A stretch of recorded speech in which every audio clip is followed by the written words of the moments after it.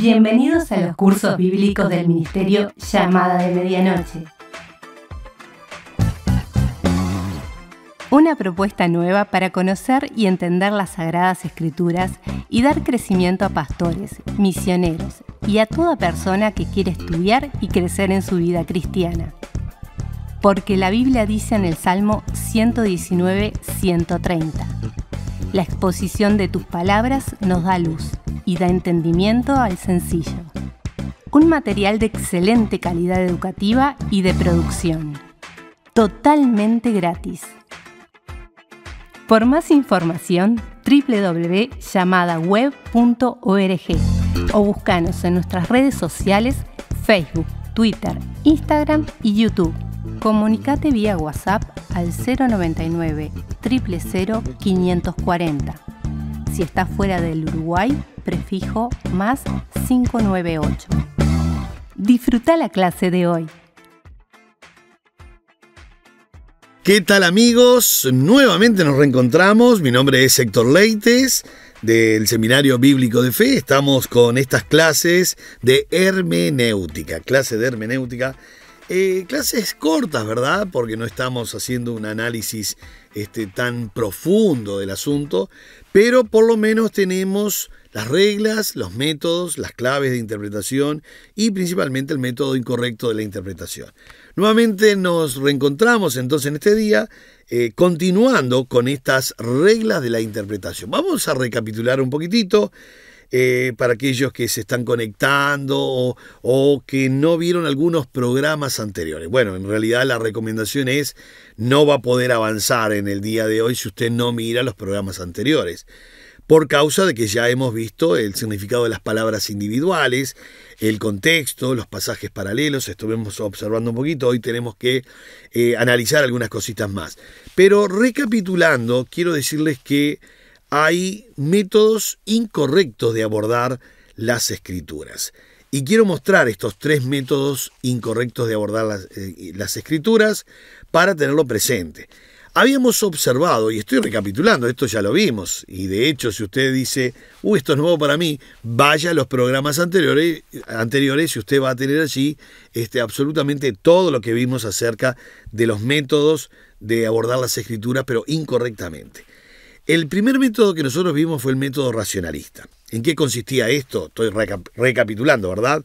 Consistía en someter toda la escritura al juicio humano. Esto es peligrosísimo, ya lo sabemos. Porque si tenemos que someter toda la escritura al juicio, al juicio humano para determinar la validez o lo que es realmente lo real de su historia o todas sus declaraciones, entonces estamos muy mal parados porque el juicio humano se va a equivocar siempre. De hecho, este método tiene gravísimos este, problemas por causa de que se acerca a la Biblia con el juicio ya preconcebido de que lo sobrenatural no existe. Entonces ya empezamos mal, ¿verdad? Y esto es un método muy humanista, por supuesto. Los milagros, los milagros de la Biblia, no fueron más que eventos naturales, dicen ellos. Y aquí está donde este, nosotros decimos, pero ¿cómo es posible? Bueno, ellos tratan de explicar todo bajo la parte raciocinia, el juicio humano, o están abordando de una manera muy humanista. Ellos hablan de los milagros, como la multiplicación de los panes y los peces, que fue un milagro moral, ¿no? En realidad no se multiplicaron panes y peces, sino que lo que hubo allí es que alguien, al ver que alguien tenía su merienda, entonces todos, todos después sacaron su merienda y comieron todos. Realmente un poco cómico este, creer este método racionalista del milagro de la multiplicación de panes y peces como milagro moral, porque casi es cómico pensando que casi 20.000 personas, digo casi 20.000 personas porque eran 5.000 sin contar mujeres y niños. Entonces casi 20.000 personas compraron exactamente lo mismo en el mismo supermercado. No sé cómo hicieron para todos comprar la oferta de la semana o del día panes y peces. Bueno, realmente un poco chistoso todo esto, pero se darán cuenta que el método racionalista no va. También ellos dicen, dicen realmente, que las murallas de Jericó no cayeron por el poder de Dios, ni por la fe, ni por obra de Dios milagrosamente, sino que fue la resonancia de las trompetas. Y yo vuelvo a decir, este, de todos modos fue milagro porque que unas trompetas hagan sonar un muro que en algunos lugares tenía hasta 13 o 15 metros de ancho, no se olvide que en ese muro habían calles y casas, como Raab la ramera vivía en el muro. Y no vaya a pensar que vivía en un muro de, de 15 centímetros. Bueno, así que se dará cuenta, otra vez entramos en este método del juicio humano racionalista que es casi cómico también. Cuando ellos hablan del Mar Rojo, porque hay libros que hablan de esto, por supuesto, ¿no? Cuando hablan del milagro del Mar Rojo, ellos dicen que no es que se abrió el mar y cruzó el pueblo de Israel, sino que justo en esa época había sequía, había un viento que este, corría el agua, y yo vuelvo a decir otra vez en tono jocoso, bueno, igual hay un milagro, porque si, como dice el libro o los libros, que cruzaron en un poquito de agua de 10, 12 centímetros, este, porque eh, los vientos soplaron y abrieron el mar, entonces lo lindo sería este, decir que el milagro estuvo igual, porque ¿cómo hizo o cómo hicieron para ahogarse todos los egipcios en 10 centímetros de agua? Los caballos, los carros, todo, todo sumergido en agua, pero en 10 centímetros, salvo que sean este, hombres chiquitos así y carros chiquitos. Bueno, los jocosos se darán cuenta que es porque el método racionalista no funciona. Cuando Jesús eh, anduvo sobre el mar, ellos dicen que no anduvo sobre el mar, sino al lado de, al costado, digamos en la orilla. Y yo digo, pero si anduvo en la orilla, entonces, ¿dónde se hundía Pedro? Porque Pedro cuando salió a caminar arriba del agua, que caminó por arriba del agua, y cuando tuvo miedo por el viento y la tormenta, este se hundía si, estaban caminando este, arriba del agua, así en un centímetro de agua, ¿cómo podés hundirte en un centímetro de agua? Entonces ya no te hundirías en el agua, sería un pantano, sería arena movediza que se estaba hundiendo Pedro. Bueno, se darán cuenta que el método racionalista no funciona, aunque quieren hacerlo funcionar, por supuesto. El segundo método que, hay, que hay incorrectamente, ¿verdad?, para abordar las escrituras es el método alegórico místico. Esto es peligrosísimo, el alegórico místico, porque todo, todo es alegoría y todo es místico. Todo, todo. No hay nada literal, no hay nada. No, todo es mitología, mitos, leyendas. Eh, considera que toda la Biblia fue escrita como una serie de alegorías, símbolos. Eh, que tiene un sentido místico y al tener un sentido místico es un sentido escondido. Y uno dice, no, no es así, la Biblia es muy clara en cuanto a lo que es historia, lo que es profecía, lo que es poesía, todo, todo lo que es doctrina, todo lo que es escatología, es todo muy claro. ¿Que hay pasajes difíciles? Bueno, puede haber algunos pasajes aparentemente oscuros, difíciles, por algo estamos estudiando hermenéutica y por algo ya hemos analizado algunos, algunos métodos de interpretación y hemos mirado las reglas de la interpretación bíblica, ya hemos comenzado en programas pasados este, mirando el significado de las palabras individuales. Ahora, la Biblia tiene alegorías. La Biblia tiene 152 figuras literarias. En realidad son 217, pero se, se, resumen o se reúnen o reajuntan, porque algunas son repetidas, en 152 figuras literarias. Imagínense que si habrá figuras literarias, no solamente alegorías, sinédoque, parábolas, hipérbole, este, metonimia, eh, eh, antropopatía, eh, antropomorfismo. Bueno, ¿cuántas figuras literarias hay en la Biblia? 152, 152, de las cuales nosotros en programas este, que, que, vamos a tener más adelante, este, vamos a mirar algunas, algunas vamos a estar mirando, por supuesto que sí. Este es el método alegórico místico que, por supuesto, ellos les encantaban en la interpretación de las escrituras al judío, este, interpretar con el método Sod. El método Sod era el método alegórico místico, o sea que todo, todo, todo, todo tiene una, una connotación mística, escondida, oculta. Y esa es la razón, lo mirábamos en programas pasados, esa es la razón por la cual el escritor de Hebreos, sin tener, sin tener mucho dato, realmente sin tener mucho dato, eh, habla de Melquisedec mucho en Hebreos capítulo 6 y 7 y parte del 8 también. Y uno, se pregunta, ¿de dónde sacó tanto dato el escritor si no hay?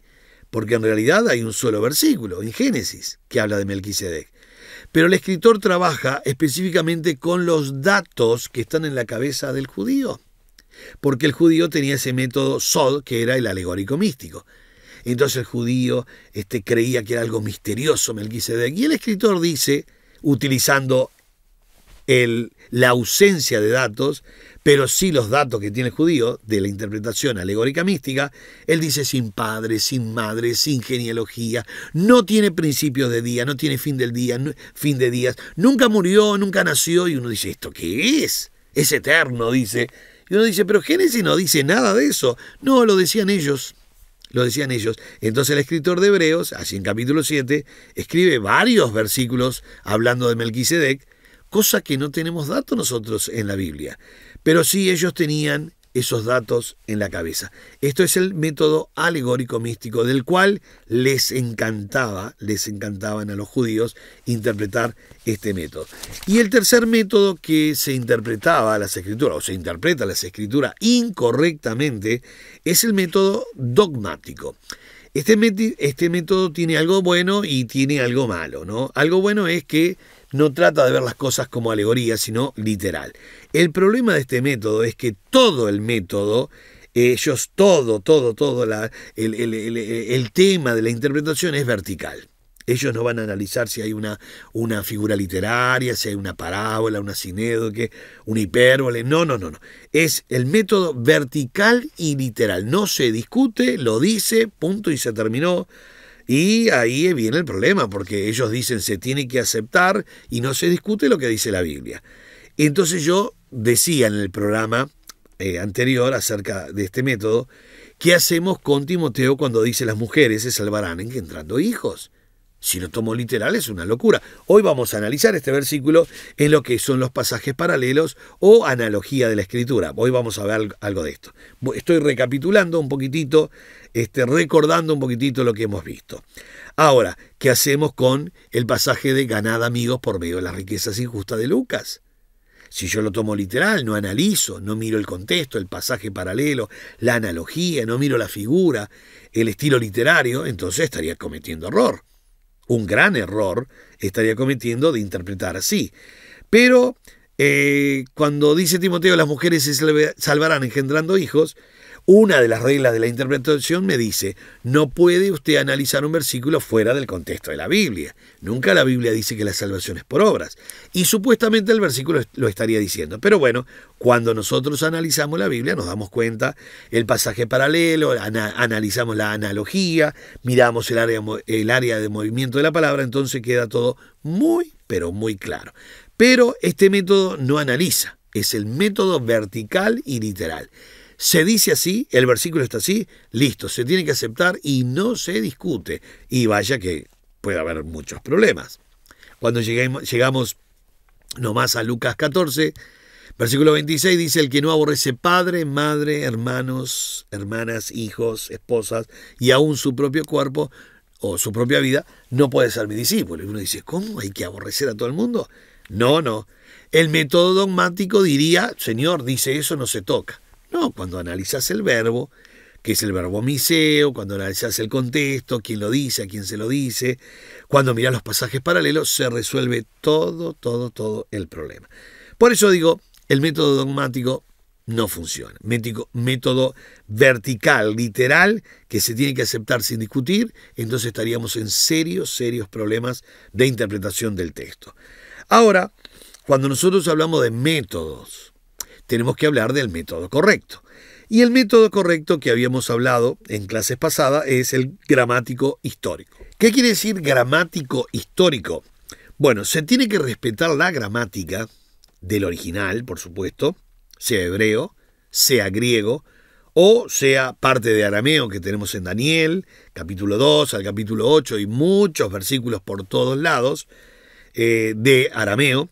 Cuando uno respeta la gramática, en, idiomas, en sus idiomas originales, entonces no hay problema. Cuando uno respeta la historia, por eso es el gramático histórico, el método correcto es gramático histórico. La escritura determina, siempre la escritura determina, la enseñanza que debe enseñar la Biblia. O sea, captó la idea. La escritura, esto que tenemos acá, la Biblia. La escritura determina totalmente la enseñanza que debe enseñar la Biblia. O sea que todo lo que se tiene que enseñar tiene que estar en la Biblia. Por supuesto que son buenos los libros, los comentarios, todo eso es muy bueno. Sirve, sirve y vaya que es muy importante. Este, yo tengo en mi casa una biblioteca muy grande de, muchos libros, de, de muchísimos libros, muchísimos libros. Pero ¿cuál es el tema? Yo no puedo, cuando hay un pasaje difícil, complicado, aparentemente oscuro en la Biblia, o simplemente sencillo, y no lo entiendo, entonces voy al libro a ver qué me dice el Señor este. Eso es peligroso y no importa quién sea, es peligroso. Porque la Biblia se enseña a sí misma. O sea, la Biblia enseña lo que tiene que decir la Biblia. Por eso decimos, la escritura determina la enseñanza que debe enseñar la Biblia.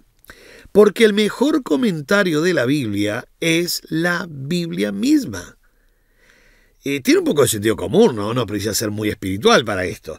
Si yo tengo que traer una persona X de afuera, sea quien sea, usted, yo, cualquier escritor, para explicar algo que la Biblia supuestamente no está explicando, o a Dios le plació en su soberanía dejar el secreto, es muy complicado esto y peligroso. Yo tengo que saber que cuando la Biblia habla, yo hablo. Y cuando la Biblia calla, yo callo, sí o sí. No tengo otra. Cuando la Biblia habla, nosotros hablamos. Y ahí es donde pasamos el versículo por las diferentes reglas de interpretación. Pero cuando la Biblia calla, escuche esto porque es una buena, una buena receta en estos días. Nosotros tenemos que callar también. ¿Por qué? Porque si a Dios le plació en su soberanía no revelarnos, ¿por qué nosotros, revelarnos alguna verdad o algo allí? ¿Por qué nosotros vamos a tratar de buscar por algún libro afuera de la Biblia a ver quién puede decir algo.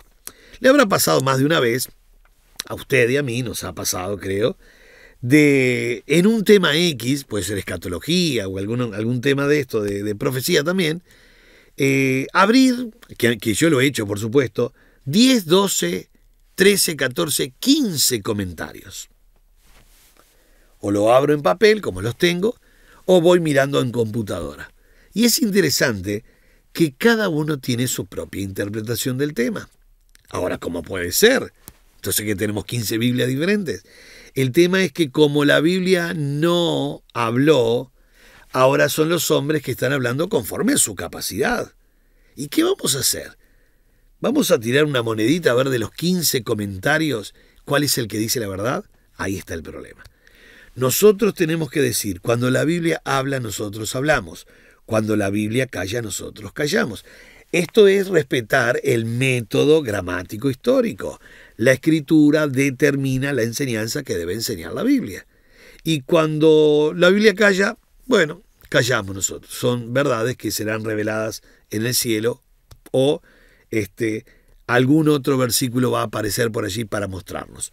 Pero hay que tener cuidado con esto, mucho cuidado. Siempre cuando hablemos que sea el versículo el que esté respaldando lo que estamos diciendo, y no fulano de tal dice, o tal escritor dice, o dijo fulano, o dice Mengano, que este versículo mm, mm, mm, hay que tener cuidado con eso. La Biblia dice, la Biblia dice. Este es el método correcto, el gramático histórico.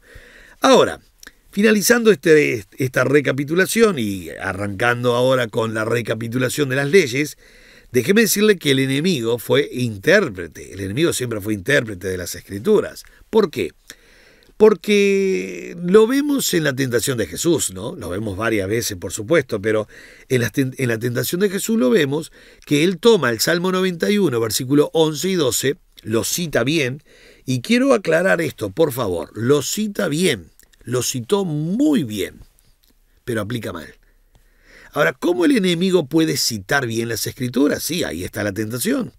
Citó bien, aplicó mal.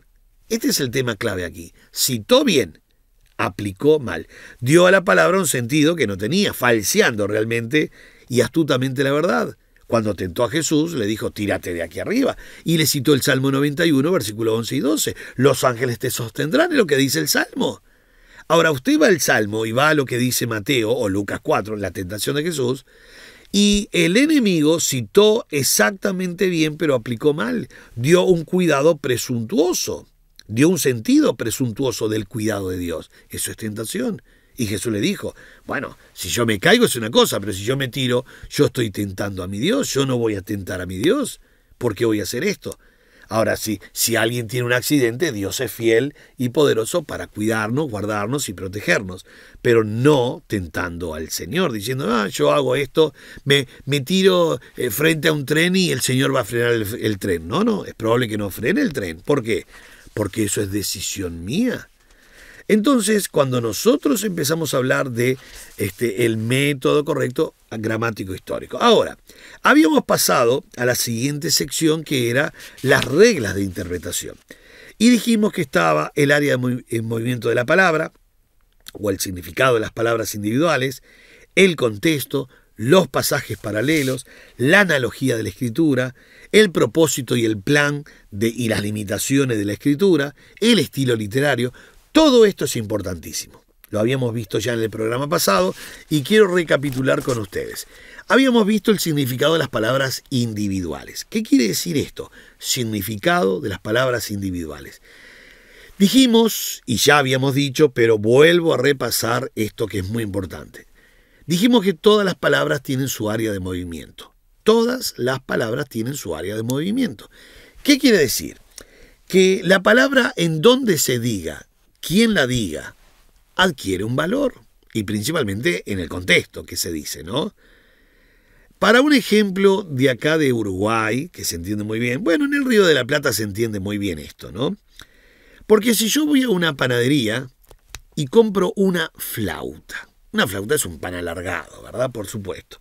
Entonces voy a la, panadería, entro y le digo al panadero, Señor, ¿me vende una flauta? Y el panadero va a decir, sí, cómo no, señor, este, doradita, más blanca, sal, sin sal. Yo, como venga. Muy bien. Fíjese lo que dije, ¿no? Señor, me vende una flauta en la panadería. Salgo de la panadería con el pan abajo del brazo, escuche bien, y a la media, cuadro, eh, la media cuadra entro en, una casa que venden instrumentos musicales, una casa de música. Venden todo instrumentos musicales. Entro con el pan abajo del brazo o en una bolsita y le digo al Señor la misma frase, Señor, ¿me vende una flauta? Ahora, el señor que está allí me va a preguntar, ¿de qué marca? ¿Yamaha? ¿Sony? ¿Flauta dulce? ¿Flauta traversa? ¿Afinada en qué nota? Y uno dice, para, para, para, para, para. Yo quería otro pan. Ahora, si quería otro pan, como entré a la casa de la música? ¿Se dan cuenta de lo que estoy diciendo? Dije la misma frase y la misma palabra y adquiere diferente valor. ¿Por qué? Porque lo dije en diferente lugar. En la panadería dije, Señor, deme una flauta, un pan. En la casa de música dije, Señor, deme una flauta, un instrumento musical. Y uno dice, pero entonces las palabras, las mismas, adquieren valor según donde se dice y quién lo dice y a quién se lo dice. Por supuesto, el contexto es fundamental. No es lo mismo, y esto es muy de, ya no del Río de la Plata, sino de Uruguay, no es lo mismo ir a los Sodre y comprar un violín, o una casa de la música, y comprar un violín, ¿verdad? No es lo mismo, que ir a un hospital, el Pasteur o a cualquier hospital, y comprar un violín. O ir a una farmacia y comprar un violín. Y uno dice, pero ¿son dos cosas diferentes? Son dos cosas diferentes. Uno es para un hospital o una cama y el otro es un instrumento musical. Entonces uno dice, pero dije lo mismo. Señor, ¿me vende un violín? Sí, pero según donde se diga. Según donde lo digo y en el tiempo también, me involucra mucho esto también. ¿Quién es el que está escuchando? ¿Quién es el que habla? Ahora, si usted puso atención, yo compré una flauta y a la media hora quería comprar un instrumento musical. Media hora. Ahora, media hora de tiempo. En la misma cuadra, en el mismo barrio, en la misma hora, por supuesto, el mismo año, todo, todo, todo igual. ¿Se imaginan ahora decir una palabra aquí y en 1600 años decir la misma palabra? ¿Por qué digo esto? Porque la Biblia demoró entre que empieza a escribirse y se termina 1600 años. Ya no es media hora. 1600 años desde que comenzó a escribirse hasta que se terminó en la isla de Patmos, Juan escribiendo el Apocalipsis en la isla de Patmos. 1600 años. Pero eso no es nada. Porque en el barrio lo del panflauta lo dijo una sola persona. Yo fui y dije de Señor, de una flauta. Pero en la Biblia hay más de 40 escritores. Pero, se, pero estamos hablando de tres continentes. Pero estamos hablando de tres idiomas. Pero estamos hablando de culturas diferentes. Pescadores, campesinos, estadistas, médicos, personas de, de, de cultura. Pero además estamos hablando de lugares diferentes. Ya dijimos tres continentes. Pero la Biblia se escribió en el desierto, se escribió adentro de una cueva, adentro de una cárcel, arriba de un barco, en una guerra, eh, eh, en el palacio de Salomón. Lugares muy, pero muy variados, desiertos, guerras, cuevas, palacios, cárceles, barcos, travesías. Y uno dice, pero, pero es increíble.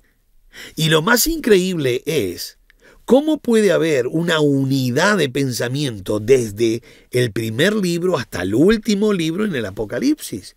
Los 66 libros tienen una unidad de pensamiento. ¿Cómo es posible? 40 escritores, tres continentes, tres idiomas, culturas diferentes, lugares diferentes. ¿Cómo es posible? Es imposible.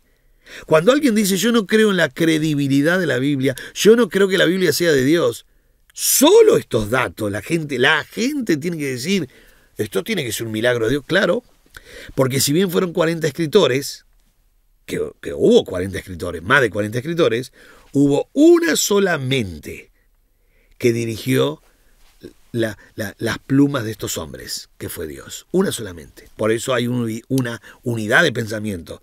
Y por eso tenemos 66 libros, la Biblia, de Génesis al Apocalipsis, con una sola unidad de pensamiento, hablando del famoso hilo de oro que es Jesús y la salvación. Porque todo el Antiguo Testamento era sombra de lo porvenir. ¿Cómo es posible? Sí. ¿Cómo no va a ser posible si hay una solamente? Un solo escritor mayor arriba, llamado el Dios eterno y soberano. Ahora, esto no pasa en ningún otro libro, ¿eh? Usted puede comprar un libro con varios escritores y cada uno habla de su tema. Y, se escribió en la, eh, en la misma época y conectándose por WhatsApp, Internet, Instagram o correo electrónico. Y acá estamos hablando de la Biblia, 1600 años. Por eso cuando nosotros hablamos del significado de las palabras individuales hay que tener mucho cuidado.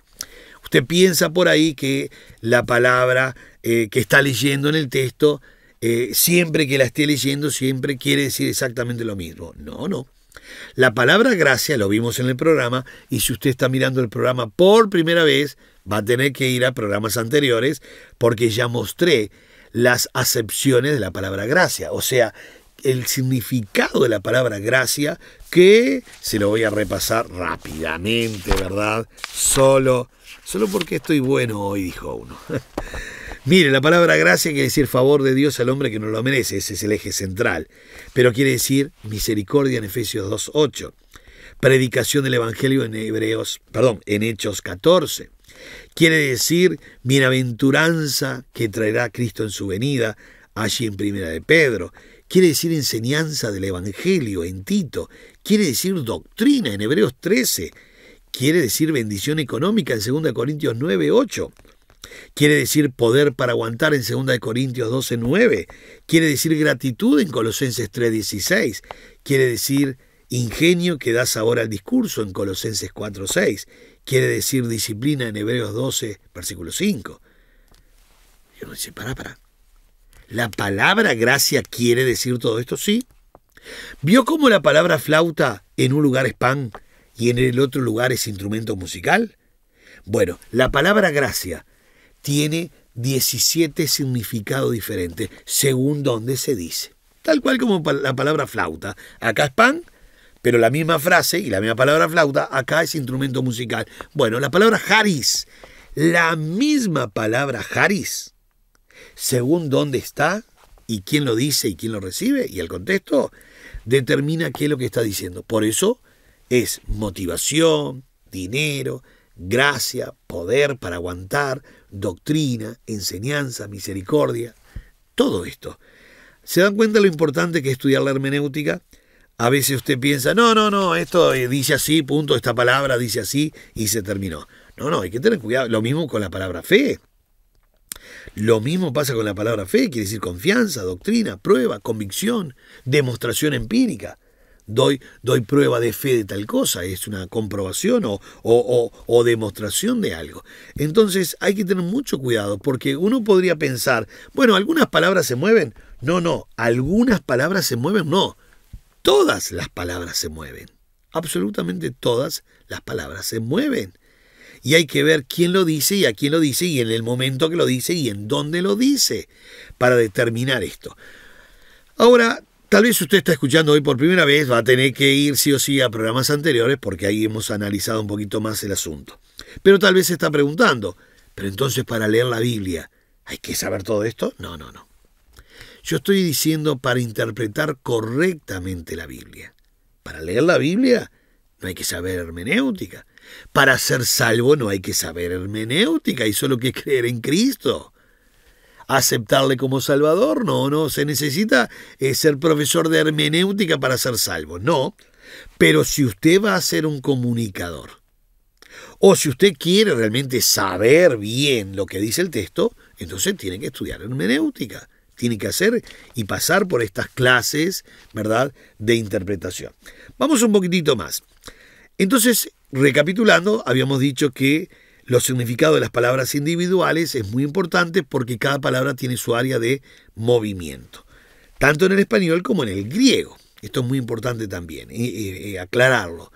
Y le pongo un ejemplo.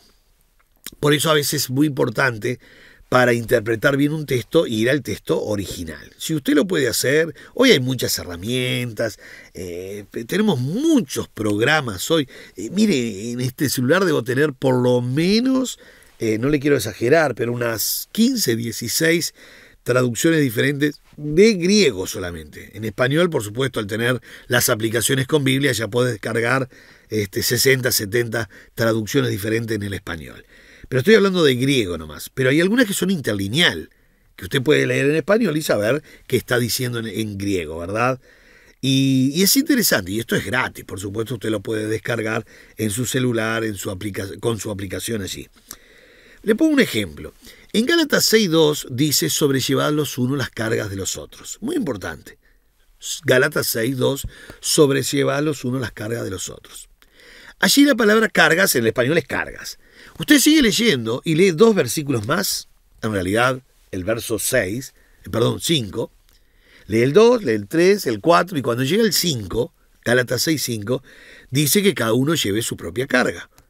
Entonces uno podría llegar a pensar, Pablo se está contradiciendo, hay algo raro acá, ¿cómo es que en Gálatas 6, 2 dice que específicamente eh, que nosotros llevemos las cargas de nuestros hermanos?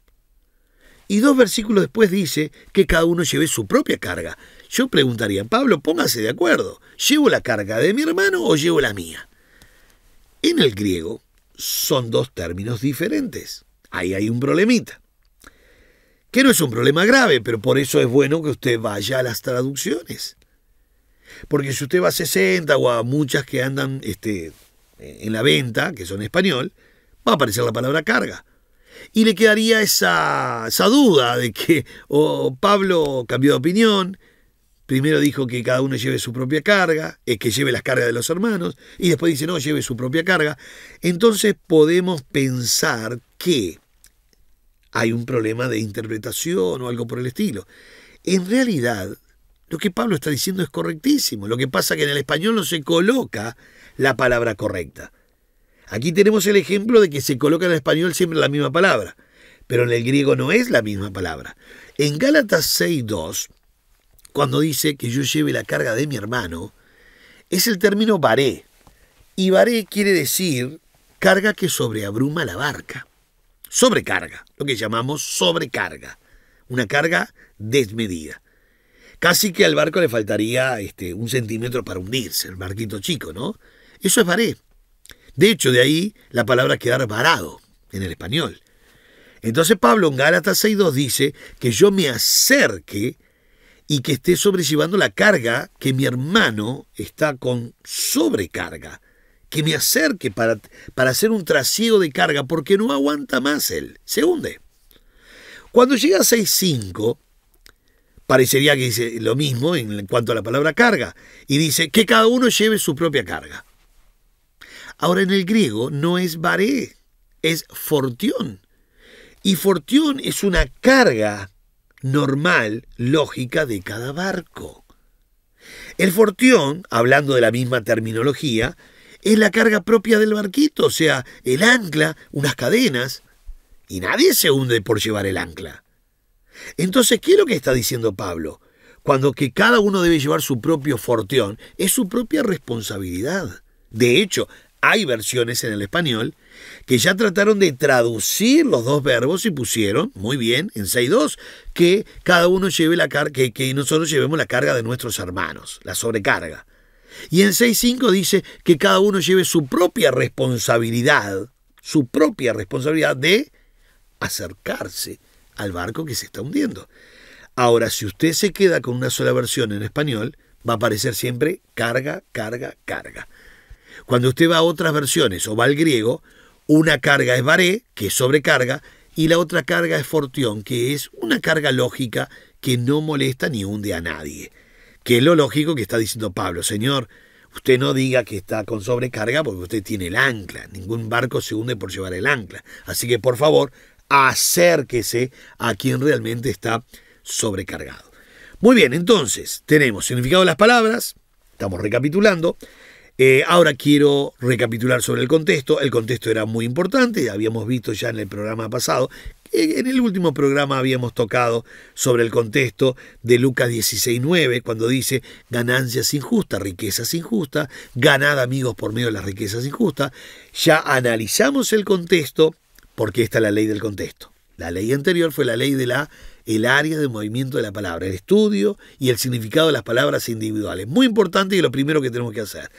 La segunda regla es el contexto. Si yo tengo un texto difícil y no leo para arriba, para abajo, leo todo el contexto, puede ser el contexto contexto o el contexto remoto que puede estar en otro capítulo o en otro libro, pero por lo general va a estar en el mismo libro y en el mismo capítulo. No siempre, pero por lo general sí. Entonces cuando leo Lucas 16.9, ganad amigos por medio de las riquezas injustas, uno, uno si no sabe de hermenéutica eh, y es nuevo, diría, ¿qué, qué, tengo que ganar injustamente una plata? Este, o robar o estafar o algo por el estilo, y entonces este, este, hago amigos por ahí y estoy cumpliendo el mandato bíblico. No. Lo que está diciendo allí, que ya lo vimos en el programa pasado, es que yo tengo que utilizar lo que frecuentemente es injusto, que no tiene moralidad, ya lo vimos eso, es adique, la palabra griega. Riquezas injustas quiere decir justamente la palabra riquezas injusta era la mamona, mamón, eh, mamón riquezas, y adique, no tiene moralidad. O sea que el dinero que no tiene moralidad, utilizarlo para la obra de Dios, para la causa de Dios. Eso es lo que estaba diciendo. Lo vimos ya en el programa pasado, muy bien explicado. Así que vaya para atrás si no lo vio. Vimos también Romanos 11:29 acerca de los dones irrevocables. Ya vimos qué clase de dones eran. No eran dones carismáticos, sino dones como regalos de Dios, como dádivas de Dios. Por eso leímos el Salmo 89, verso 19 en adelante. También vimos o dejamos así en el tintero lo de Hebreos 12:15 eh, y lo voy a ver rápidamente, Hebreos 12:15, cuando aparentemente hay un versículo aquí que, que, que, no se arrepintió Esaú, algo por el estilo. Y que, o que se arrepintió, mejor dicho, y no hubo oportunidad para el arrepentimiento. Se lo voy a leer rápidamente, dice aquí Hebreos 12, versículo 15. Por supuesto, usted si está escuchando el programa y en esta clase, Biblia abierta papel, Biblia abierta, varias Biblias abiertas también, para poder ver qué es lo que está pasando, ¿no? Muy bien, entonces, para ir finalizando ahora, quiero decirle en, Hebreos 12:15, Eh, en realidad tenemos que mirar el versículo 16. El 16 dice, no sea que haya algún fornicario o profano como Esaú, que por una sola comida vendió su primogenitura. Porque ya sabéis que aún después, deseando heredar la bendición, fue desechado. Ponga atención en esto. Y no hubo oportunidad para el arrepentimiento, aunque la procuró con lágrimas. Este versículo, si nosotros no, no aplicamos la ley del contexto, en este caso, eh, contexto es lo que va con el texto. Nosotros en este caso tenemos que ver un contexto remoto. No es solamente lo que va con el texto aquí, en el Hebreos 12 mismo, sino un contexto remoto. Siempre cuando usted no encuentre en el contexto, y contexto es lo que está juntamente con el texto, entretejido con el, con el versículo, por eso contexto quiere decir lo que va con el texto. Pero hay versículos que son polémicos como estos, o oscuros, ¿no? Polémicos, que no está en el contexto, está en el contexto remoto, se llama. ¿Por qué? Porque para saber bien lo que pasó, va a tener que ir a Génesis. Pero le voy a aclarar un poquito.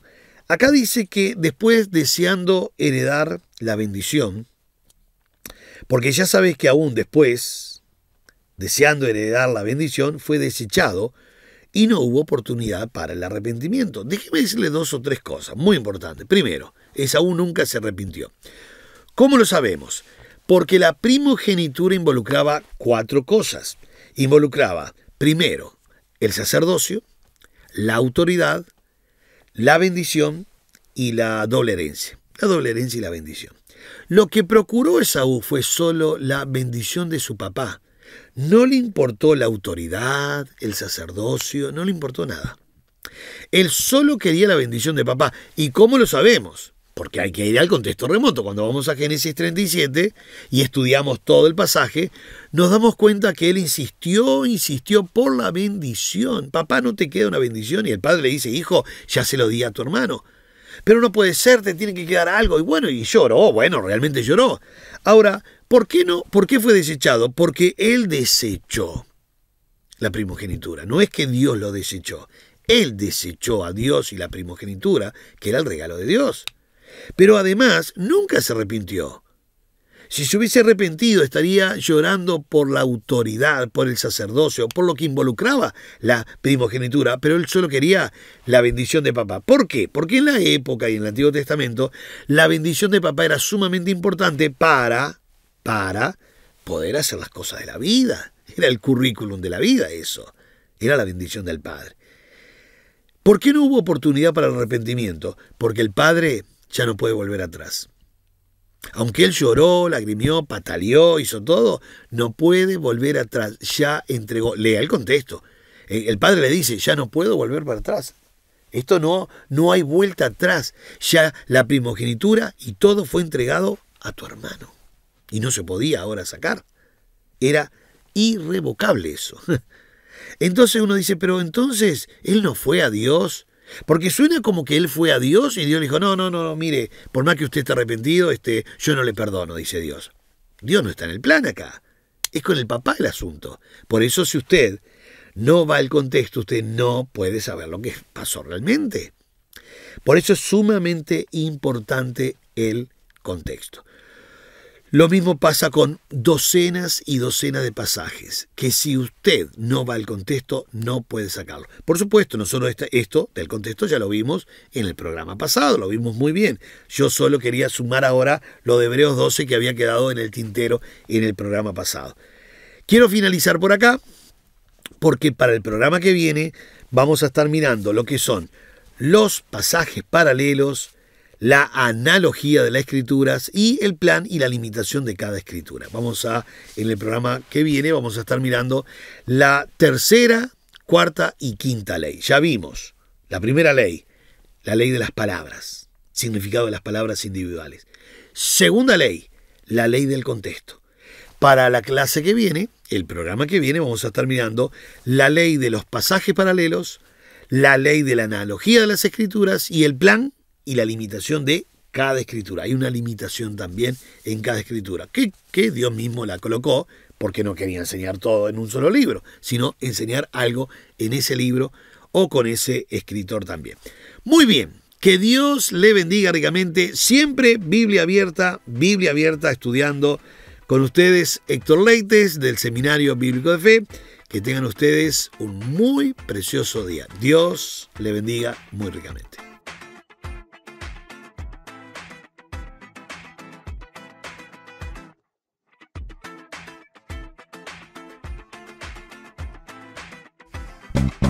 Esperamos que esta clase haya sido de edificación. Recuerda que en nuestra página web www.llamadaweb.org podrás encontrar el complemento de esta clase con las notas y material extra. Busca la pestaña Cursos Bíblicos y regístrate para tener más material totalmente gratis. Gracias a todos los que ofrendan para que este material siga produciéndose.